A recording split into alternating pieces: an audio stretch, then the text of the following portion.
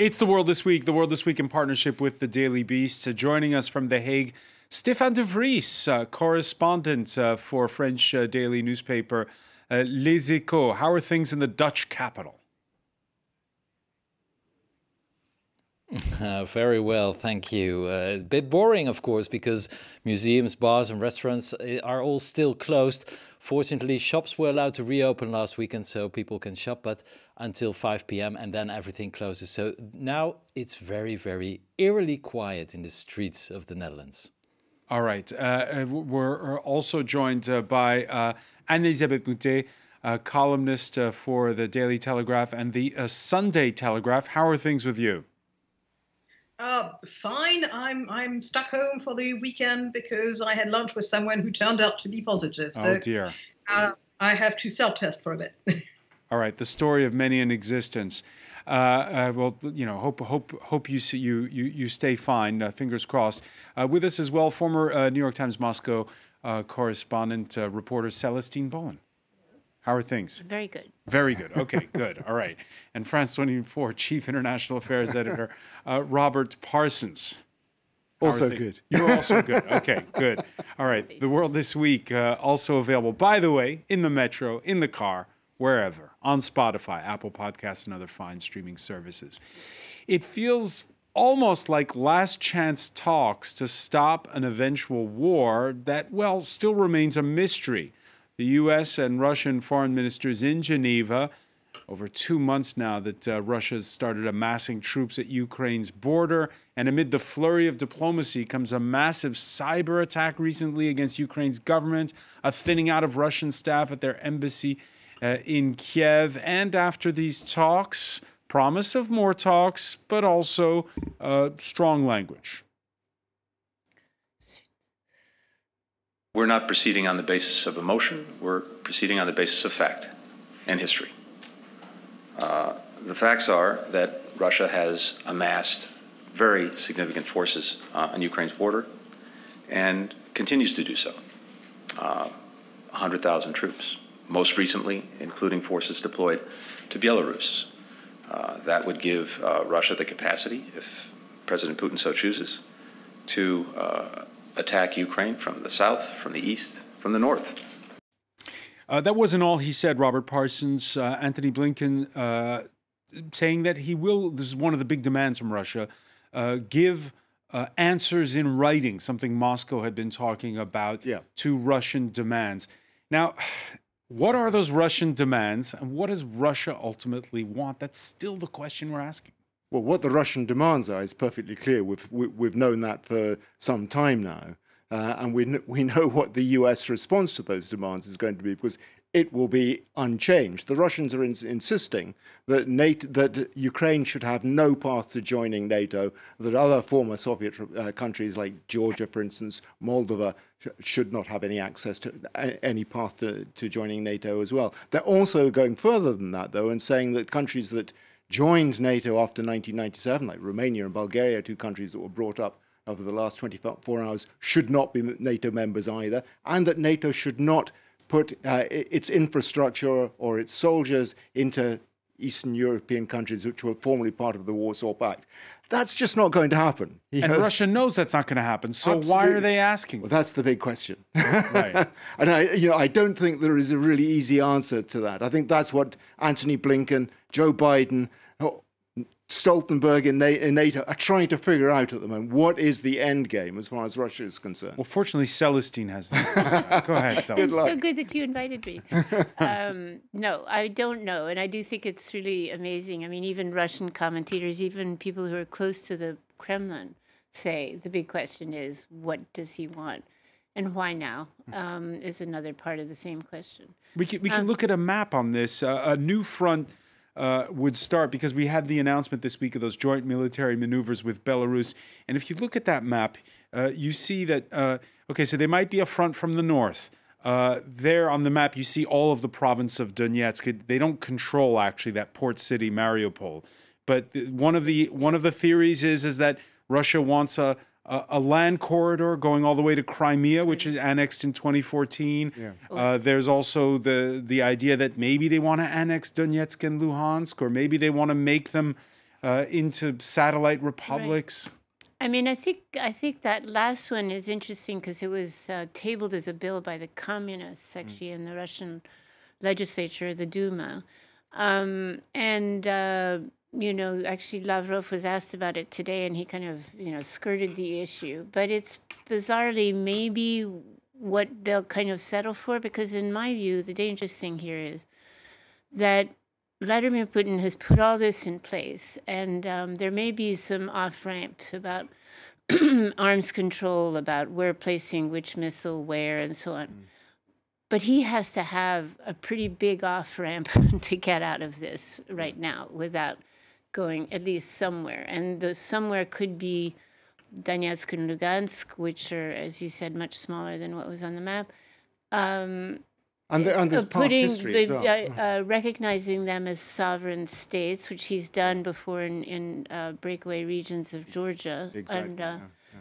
made them kind of so-called independent states, recognized, I think, by two other countries. Right. Um, but you know that would allow him them to invite him in. I mean, you know, it would sort of you know. But I, I think the scary thing is he. So your off ramp includes uh, no, no, a measure I, of military action is what you're no, no. I mean, I'm saying there uh, diplomatically. I think there are things available, but they won't make him look like he hasn't backed down. Sorry for the yeah. double negative. I mean, he, you know, the the guy is not somebody who's going to want to lose face on this, and um, if he just goes away with a diplomatic, you know, bunch of papers it looks like he backed down. All right. On Wednesday, in the build up to Geneva, there was, well, let's call it what it was a blunder. It came during Joe Biden's press conference to mark one year in office as U.S. president. I think what you're going to see is that Russia will be held accountable if it invades. And it depends on what it does. It's one thing if it's a minor incursion and then we end up having a fight about what to do and not do, et cetera. But if they actually do what they're capable of doing with the force amassed on the border, it is going to be a disaster for Russia if they further invade, Ukraine. That minor incursion uh, comment, uh, the White House, the State Department, they spent all day Thursday rolling it back, clarifying it, denying it. Uh, did Biden actually blurt out what is the thinking in Washington? I imagine that he it didn't come out of the blue. Um, and I don't know how much of his capacity he's got uh, left from the time when he was the extremely competent head of the Foreign Affairs Committee of the Senate, but that's you know that's uh, that was a different time. Uh, but in a sense, it almost does not matter because what not only there has been damage control in Washington, but uh, Blinken was basically doing damage control in Moscow opposite Lavrov. And it reminds me very much of those uh, sort of Brexit negotiating sessions in which uh, uh, the various Tory negotiators were fighting among themselves while Michel Barnier was sitting back relaxed. it's, it's given Russia so much. Uh, so much sort of uh, of a pressure point. And in a sense, Russia believes in force, and that was just an admission of weakness and of a place where you could where you could push. Um, I think it's disastrous. I think most people do not realize how uh, dangerous it is for the rest of Eastern Europe. Uh, uh, already, Russia has demands on, on what members of the European Union and members of NATO should be doing and should not be doing. And if we, if we, so if we as the West and NATO are as climb down in, in Ukraine, then it will follow up, you know, like night follows day. Uh, so no, I think we're in a very dangerous situation. It's of the making of this American government, who, having lost Afghanistan, are pretty pretty much ready, it would seem, for some of them to lose Ukraine as well. Some of them ready to lose Ukraine? Is that your assessment, Stefan de Vries?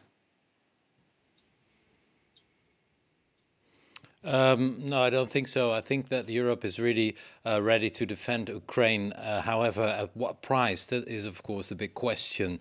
Um, I think many European capitals now are more or less um, a little bit uh, annoyed by the fact that uh, two blocs talk about their security over their heads. Uh, the European Union is not really involved in these talks, uh, yet uh, it's the first bloc that will be affected by a potential war uh, between Russia and Ukraine, which is actually a war by proxy against the European Union, uh, because of course the, the, whole purpose of Russia, if, if there is a purpose uh, of this potential war, is of course to make clear to the European Union that they don't want other countries to become part of the European Union Union nor uh, part of NATO. So um, the European Union will be briefed on Monday in Brussels. The ministers of foreign affairs will gather in Brussels and get their briefing uh, by Antony Blinken, who will join um, them on online, so virtually.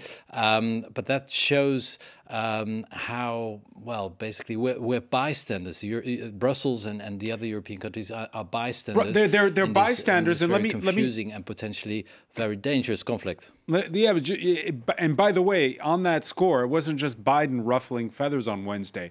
That was the day Emmanuel Macron made his big speech in Strasbourg at the European Parliament to mark France's yeah. six month rotating presidency of the EU. And it featured, let's listen to it, a call for the bloc to chart its own course. à la fois pour nous-mêmes comme pour la Russie, pour la sécurité de notre continent qui est indivisible, nous avons besoin de ce dialogue. Nous devons, nous, Européens, poser collectivement nos propres exigences et nous mettre en mesure de les faire respecter. Un dialogue franc, exigeant face aux déstabilisations, aux ingérences, aux manipulations.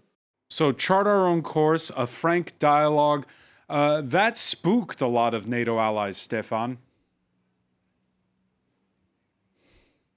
Yes, indeed, but it was later more or less well corrected by um, Macron's advisors uh, by saying that it's nothing else than the concept of strategic autonomy that Macron has been promoting since he became a president, and uh, which has now found um, a lot of support in, in, in, most of European capitals. But the timing was maybe um, not very lucky. Uh, but in, in, in a way, Macron is right, of course, by saying that we should actually find our own voice, our own dialogue, or our own position um, in in this this geopolitical um, conflict. Uh, we will not. We don't need. Well, it's it's very hard to be stay in be dependent on the United States, um, especially of course after the Trump era, especially since also um, we realized that the United States is no longer the ally ally um, that we had in the in the 70s or the 80s during the Cold War. Uh, the time has changed. Um, so his message um, was received, well,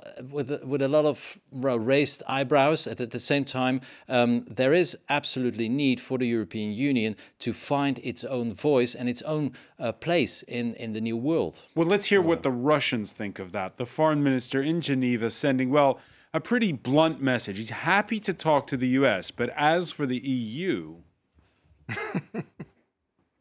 Наши озабоченности по поводу Our concerns are not about imaginary threats, but about real facts that no one hides. Pumping Ukraine with weapons, sending hundreds of Western military instructors to Ukraine. Uh, now the European Union, fearing it's lagging behind NATO, wants to create its own military training mission in Ukraine.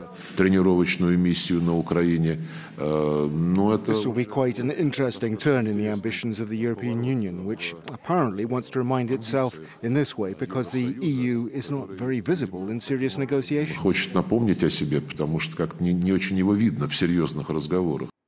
So, Anne-Elisabeth Moutet, I haven't seen anything about this EU training mission. What we have seen, though, is uh, the British this week airlifting anti tank weapons and uh, military instructors uh, to Ukraine. What, what's your reaction when you listen to Sergei Lavrov? Well, not just the British, but some Eastern European countries as well, including Estonia, the Baltic states, uh, and movements in, in Poland as well, because they know exactly what the threat is like and it's been at their border for a long time. Uh, I think Sergei Lavrov is he's within his role as as the um, uh, uh, you know, as a Russian and as an heir of a, of a, a tradition of diplomacy of force. Um, uh, but of course, what they do is they they put the onus on Europe and they say, "Oh, you're helping Ukraine defend itself as an act of aggression." Uh, it's not much changed since the Cold War, and and we had threats at the time. Let's just hope that they, at the last minute, blink. If I may allow this. And that brings us back to what you were saying earlier, Celestine, about how big an off ramp for Vladimir Putin. I mean, uh, again, we don't know. Um, and we don't because we don't know what it, his own end game was in his own mind. I mean, I have to say, in terms of the sort of battle readiness of these troops going in, I mean, I've heard actually from French military strategists and um, you know that said there are sort of missing elements that to anything could suggest an, a full-on invasion. I mean, there's not really the supply in hospitals sort of. Um, yeah, and the guesstimates vi- vary wildly yeah. between the Russians will roll into to, Right. to, to Kiev or they may suffer big losses. So I think I think there's an element of bluff here for sure. I'm just you know I think the idea of a full-out invasion is probably never really been in the cards. I know that that's not what some people say, but you know at the end of the day they would be fighting a brother nation. I mean it, it's it's uh, in, it's sort of unimaginable how damaging that could be um, for him domestically. So. As somebody said, I was talking to in Moscow. You know, when the first coffin comes back, you know that.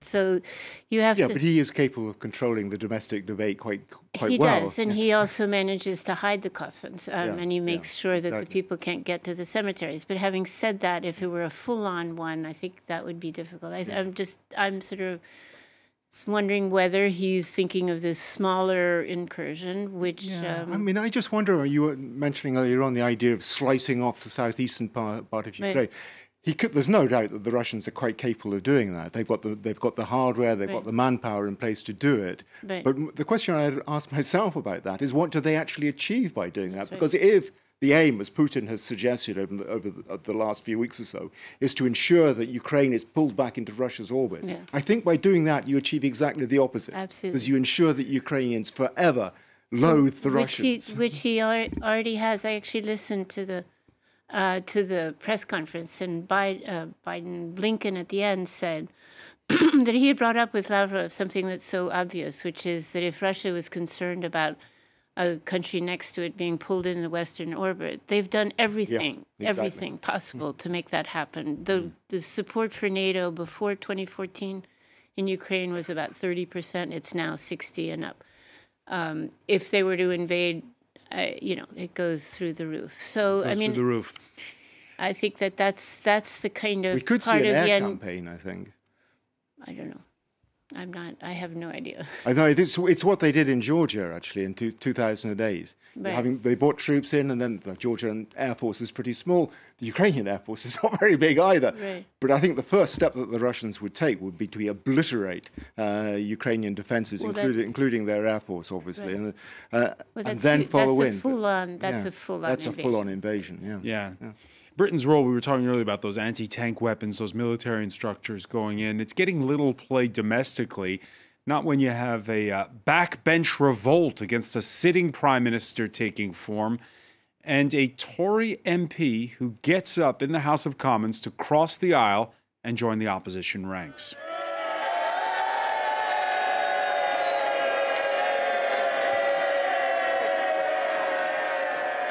His name is Christian Wakeford. He was elected in 2019 in a constituency north of Manchester that was part of the so called Red Wall that turned against Labour and handed Johnson his landslide majority. On Wednesday in the Commons, uh, the PM, who had seemed on the ropes the previous day, uh, had uh, more fight. He issued a thinly veiled threat. May I say, right honourable gentlemen, that the Conservative Party won Bury South for the first time in generations under this Prime Minister, uh, with an agenda of uniting, uniting and levelling up and delivering for the people of Bury South. And Mr Speaker, we will win again in Bury South at the next election under this Prime Minister. Ni- nice constituency you got there. You wouldn't want something to happen to it, right, Elisabeth Moutet? yes, this is this is really Boris on his hind legs. I understand that in the time of the MP who actually crossed the aisle to uh, join the Labour Party, he there is a story which is now being heavily denied that the chief whip uh, threatened him uh, with with uh, deselecting him for the next um, uh, election, and that of course would definitely sort of put you know uh, make somebody angry enough to cross the aisle. But It's a rare occurrence. There's only been, uh, according to Politico, 23 times in the last 30 years that uh, uh, a member of parliament has switched uh, uh, allegiances. Um, I don't. I mean, it happens from time to time, and I, people remember it. I don't have my figures, to be entirely honest, um, but it, it happens from time to time. But it rarely from Conservative to Labour. You've got all sorts of Conservatives going to Lib Dem, uh, but uh, lots of people go to Lib Dem as a kind of holding pen, a bit like sports, but um, not this. Like Winston but, Churchill. Well, it happened to Churchill, and the, the man who crossed the aisle twice, of course, uh, was Oswald Mosley, the, the fascist leader who first um, crossed the aisle to, uh, uh, uh, who was a, he was a conservative, he crossed to Labour, and then he became an independent. Uh, and, you know, I'm not saying it applies to any, any part of the situation today. I think we don't have evilness there, but a great deal of incompetence. However, I'd like to point out, to link it to the previous uh, topic, that Boris Johnson took the decision to send plane loads of anti-tank uh, armament into to Ukraine. Anti-tank armament is not something you use to be aggressive yourself. It's something that you use to defend yourself, mm-hmm. and it's uh, it's exactly like the three million passports that he uh, offered immediately to residents of Hong Kong when there was the Chinese government crackdown. Uh, Boris makes many mistakes, but he does hear, you know, he, he does hear the cry of freedom and, and the threats on freedom, and that's something I'm not even sure it's going to help him at this stage in domestic policy. I think you've got one of those um, rare accents and um, uh, uh, uh sorry, you've got those rare instances where Boris is being completely honest on something. I'm pretty sure the Foreign Office was less, less uh, uh, keen on this than he was. I, I don't even think it was it had anything to do. And he got the support of Tom Tugendhat, the um, uh, the Tory chairman of the uh, the Foreign Affairs Committee of the House of the of Commons, who is absolutely no Boris supporter. Right. So a, a, rare instance of sincerity, as you say.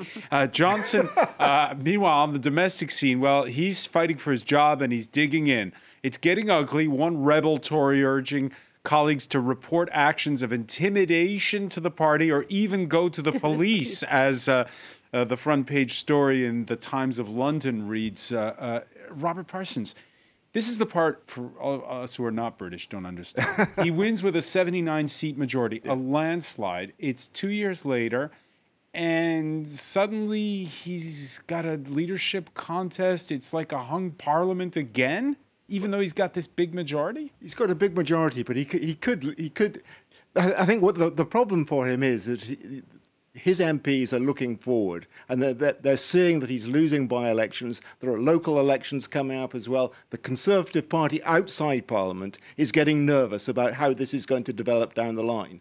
Uh, and with another, with one of his own MPs switching sides, that feeling grows even stronger. So, and, and, with talk too of the Red Wall MPs meet, meeting in the in, the, in the, the north of England or North Midlands, discussing about whether they should send their letters to the 1922 committee to set off a no confidence vote, that feeling grows even stronger. So that's what it's all about at the moment. That's why his position is shaky. Has he lost the Conservative Party? I, th I, think nationwide, outside of the parliament, it looks like he's beginning to lose it. And part of the reason for that is that at the moment his rating is extremely low, lower even than Theresa May's uh, was at, it, at, its lowest. Uh, and the Labour Party now has a 10% lead, according to the latest opinion polls. You know, after the Conservative Party had that colossal lead before. So the, the, the tide looks like it's beginning to turn. And when that starts to happen, things get on a roll. And it can be very difficult sometimes for a Prime Minister, particularly one uh, who, who, in many respects, is, is regarded you know, through, through uh, rather askance by the British public, loved in some senses because he's a you know a, rogue, but at the same time regarded as somebody who doesn't often tell the truth. Uh, so, yeah, that, know, it, it's a position. You know, his position of strength is one that can easily be lost. I think. Yeah, this this coming this drama within the Conservative Party, uh, and it's all about, as Rob was saying, this loss of credibility. Uh, remember, this is about uh, parties that happen at the height of lockdown. Uh, inside uh, 10 Downing Street, staffers at that May 2020 Bring Your Own Booze lockdown party uh, broke a swing in the garden of Downing Street. Thus, this cartoon by Banx in the Financial Times. Uh, he fell off a child's swing during a work event. The work event is the excuse. I thought I was attending a work event. Uh, that was perhaps one too many. Uh, by Boris Johnson for the former Brexit minister David Davis in the Commons. Like many on these benches, I spent weeks and months defending the Prime Minister uh, against often angry constituents. I've reminded them of his success in delivering Brexit and on the vaccine and many other things. But I expect my leaders to shoulder the responsibility for the actions they take. Yesterday, he did the opposite of that. So I'll remind him of a quotation altogether too familiar to him of Leo Amery to Neville Chamberlain. You have sat there too long for all the good you have done. In the name of God, go. And Elisabeth Moutet has uh, Boris Johnson lost the Conservative Party? He may well have. He is. I mean, all everybody uh, you talk to in London reminds you that this is a really crafty animal uh, behind the bumbling exterior, uh, and uh, he may yet sort of save himself. But I think he's really in danger. I think um, uh, uh, uh, Robert is quite right that, uh, in a sense, it's all this battle is happening within the party. That people have that the Labour has got a 10% lead may not be something that would actually happen in the polls, and it's still two years um, for the election. But within the party, we've seen other instances of the leader uh, sort of becoming noxious for the future of the party and being ruthlessly fired. And of course, there's the uh, uh, uh the, the, best known um, uh, uh, example of that was Margaret Thatcher in 1990, uh, in which the, the party decided that with the poll tax, she'd absolutely pulled something that would make them lose seats in droves. And with a result, they there was a coup masterminded. I would like to sort of remind everyone that by Michael Heseltine, who was the foreign secretary and who was afterwards never going to get any important job in his life. He wanted to be the prime minister. That's one of the reasons uh, why probably Boris might uh, stay a few more weeks. It's because there are two very obvious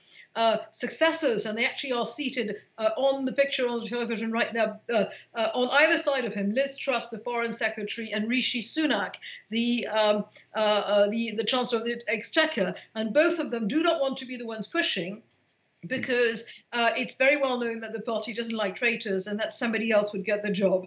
Uh, it's getting very Florentine and right. absolutely fascinating to watch. I still think Boris is in danger. All right, so don't be the one to stick the dagger in first and don't show your hand too soon. The advice there from Elisabeth. Now, France can't rival with Partygate, but it does have a COVID restrictions related scandal involving a party destination. Let's try to set the scene here. France has a very stern education minister who used to be the all powerful chancellor of schools. January 2nd, this is the night before the end of Christmas break. Fury among teachers. Jean Michel Blanquer, in his interview with Le Parisien, unveils yet more new COVID restrictions before he'd even spoken to the unions. Now it transpires that, unlike what you see in the photo, the interview wasn't at the office at all, but on the phone from Ibiza.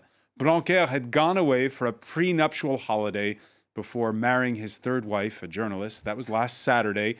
Needless to say, that did not endear him to teachers. They staged their second walkout in as many weeks. Uh, for now, uh, the, though, uh, Blanquer uh, refusing to resign, on Tuesday, he faced the music in Parliament. Did I miss any meetings or any other work I was supposed to get done over that period because of my presence there? Of course not. Also, would the decisions have been different if I had been somewhere else? No. I will admit that there was something symbolic in my choice of destination. I should have picked another one. I regret that symbol. There really is a parallel, Stéphane de Vries, uh, with politicians seeming out of touch Yeah, well, uh, I, I'm not a big fan of this minister, but that, that's not really important. I think he has a point when he says that the destination was a symbol, because imagine that he would have gone on holiday on the Ile de Porquerolles or Ile d'Oléron, eh, the very uh, fashionable islands of the coast of, of, of, the, of France, where many bourgeois French uh, go for their holidays, then there would be no problem. But it was Ibiza, which is, of course, part of the European Union, so basically it is still his own country, but it is, of course, also a symbol of um, parties, uh, debauchery, drugs, etc. um, and I think it's very There's hard no pictures of him to imagine uh, the president there dancing uh, high on ecstasy.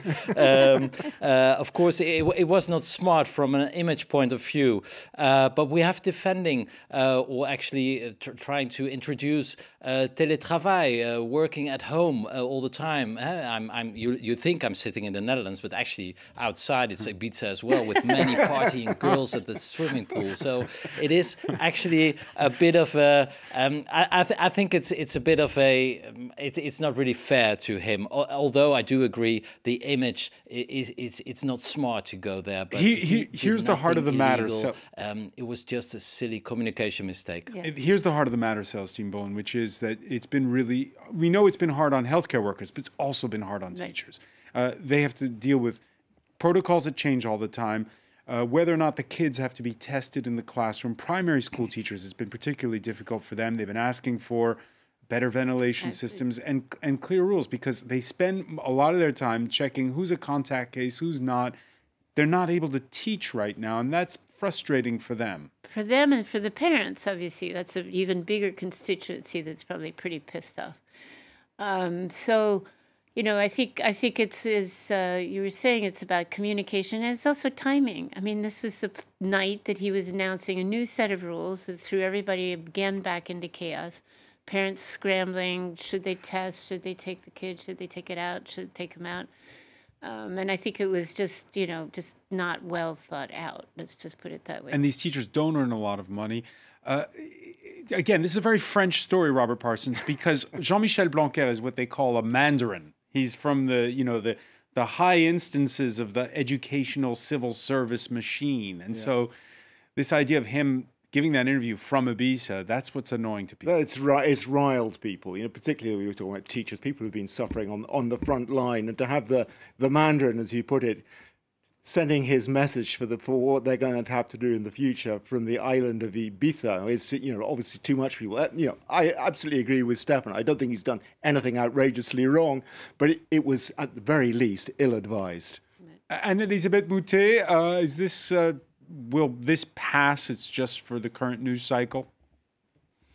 Well, it depends entirely whether Emmanuel Macron wants to make a gesture in the last two months before the presidential election because it's well known now that um, Jean-Michel Blanquer is out of favor. Jean-Michel Blanquer was an appointee who was uh, presented to her husband by Brigitte Macron, who herself is a, is a was a, school teacher, professor in a high school uh, with great a great reputation, uh, and he was the man who was supposed to be bringing in the uh, uh, sort of the right-wing electorate or the centre-right electorate by defending French universalism, battling wokeism there was a convention at the Sorbonne University only uh, last week which was all about wokeism and that annoyed uh, the quote unquote woke party no end. Uh, but uh, in recent months, it's been said that Jean Michel Blanquer has not well handled restrictions in schools or indeed the state of the schools themselves. And I don't know whether, you know, how much traction his enemies have, but I've been told that uh, he's not the golden boy anymore. And therefore, the question remains to be asked, you know, who leaked it? Who, who, uh, who, of course, the security had to know that he was in Ibiza, but uh, who leaked it. All right, who did leak it? Well, well, maybe the other shoe will drop. As you say, two months to go before the presidential election uh, here in France, a little more than two months. And uh, speaking of musical uh, and COVID protests, uh, I got to say, Stefan de Vries, the Dutch do it differently. Uh, we saw images this week of haircuts during a symphony orchestra performance, uh, part of a protest against the government keeping cultural venues shut. They there you see the image there. Uh, I thought we were the champions when it comes to demonstrating, Stefan. Well, the Dutch do it differently and, and maybe more more ironically, because of course this was an ironic protest, uh, because since last Saturday, hairdressers and sports clubs are allowed to reopen. But nevertheless, theaters and museums are still closed as part of the lockdown, the, the, the fight against the pandemic. Now, uh, a very clever theater maker and national TV host, Diederik Ebbinge, um, he thought, well, if hairdressers can open, why not transform theaters into hairdressers? so he proposed that to one of the theaters in Amsterdam that immediately said yes, and quickly followed by dozens of others, other theaters and museums. Um, and so they protested on Wednesday. Um, in, in, this way, they, they were so-called barbershop theaters. Um, the mayors of the cities who are actually responsible uh, to maintain the rules were not happy. Uh, they warned uh, several theaters. Um, in some places, the police intervened to close those places, but nevertheless, they got more or less what they wanted because uh, the whole issue was that it is ridiculous that you can walk around in a department store nowadays in the Netherlands, but not in a museum. And it seems that the government has heard their protest, um, and probably uh, tomorrow or in the next couple of days, the Prime Minister Mark Rutte will announce that cultural venues can reopen again. Um, so it has helped. It was a very um, fun and smart protest. Um, there were no, there was were no incidents, no violence, no arrests were made, um, and the cultural sector made their point very their clear um, in a very smart way. All right. Uh, all that was missing were barbershop quartets. Uh, staying in the Netherlands, a team of investigators using 21st yeah. century cold case methods believe they've cracked the mystery of who turned Anne Frank into the Nazis during World War II. A Canadian academic, a retired FBI agent, Dutch researchers, together pointing the finger at a Jewish notary called Arnold van den Bergh, this in a bid to save his own family from deportation, they say. I'm impressed by, uh, by the research done by this uh, cold case team, but I'm not uh, uh impressed and convinced by the, the results of it. All right, so there you heard uh, uh, Stefan de Vries. There are plenty of doubting Thomases where you are, and the authors themselves say they're not 100% certain. No, absolutely. This was one of the biggest stories this week in the Netherlands. It was actually all part of a publicity campaign for a new book, uh, The uh, Betrayal of Anne Frank. Now, the news broke on Tuesday uh, when the makers of a documentary that was broadcast also in, in the United States uh, revealed that they discovered the real person who who had betrayed Anne Frank's family. Anne Frank, of course, was uh, being um, in, in hide, hidden in the uh, what is now called the Anne Frank House, one of the most visited museums of the country. Um, but she was betrayed, and she and her family were deported to Auschwitz, where they were murdered. Um, now, um, the news was that there was probably a notary from Amsterdam who betrayed this family. The investigators, um, it was a former FBI agent, um, it was a cold case team. So many terms that are very popular now were used this week to reveal actually the news about Anne Frank's traitor. Um, uh, allegedly, it was then a notary, a Jewish notary, which was also a, a poignant detail. Um, so all the media were talking about that. And then in the following days, more and more historians were becoming more critical because the book was not available to um, read before the publication. Many media had to sign um, non-disclosure agreements with very heavy fines. So um, the media were not able to check everything that was in the book. So there was a lot of criticism. Um, Jewish organizations, some Jewish organizations said that, that this was actually adding to feelings of anti-Semitism because if Anne Frank was betrayed indeed by a Jewish notary, well, that will give fuel to anti-Semites. Um, so it was a, a, very controversial week, very mm. controversial statement. Probably it's, it's very hard to say if it's true or not. Uh, the uh, discussion is still ongoing. St still ongoing. Annie Moutet, the author, is saying that they're not uh, passing judgment uh, on, on that Jewish notary. It was a time, after all, where people were trying to save themselves. But there's the other aspect to this story. Here in France, we've just. Um, uh, the police have just uh, started setting up a cold case unit because with new technology, new ways of using artificial intelligence, uh, it's thought that we're going to be able soon to solve a lot more cases. Is this a question? Yeah. It's a, what would your, yes. your, your thoughts on this? And I have, I have, you know, cold cases uh, in you know murder investigation i find this fascinating. And the uh, and i you know i think it's a good thing. Why not? I'm i'm extremely dubious because there's, there's no such thing as the anne frank case. There's the fact that uh, um, almost 100000 jews out of a small country like uh, uh, the netherlands were murdered. And um, the, uh, the, the local authorities some of the local authorities collaborated. And the fact that then you put people in an impossible situation such as if he is guilty, the notary who suddenly finds himself desperately trying his family and, and the, it brings out the worst in him. But if you read Primo Levi in what happened in concentration camps, you know very well that people who were terrified and hungry did horrible things and it amused their captors. So I think solving this as if it were a, a police case is, is a mistake. It's a historical mistake and it's a philosophical mistake. I have a problem with that. But, you know, by all means, solve crimes that we don't know about. I still do not know who uh, Jack the Ripper was, and I'm interested. Celestine Bohlen. And I was just saying, I mean, I was thinking it's kind of interesting that this man's name had appeared from the typewriter of Anne Frank's father. So it was actually a clue that's been out there for, you know, as many years as he was, you know, able to talk about it. And, um, you know, and then it all comes full circle with AI and, you know, all sorts of, you know, fancy um, detective work. But I mean, at the end of the day, he was a prime suspect already, and now he's still a suspect. I mean, he's dead, but right. And as, and and so what's I mean, where did we, you know, where are and we as today? Stefan says, it's difficult to pass judgment if you haven't yet been able to read the book. Well, that's true. That's Celestine true. Bohlen, I want to thank you. I want to thank uh, Robert Parsons. I want to thank Stefan de Vries in The Hague and Elisabeth Moutet. Thank you for being with us here in the world this week. Thank you.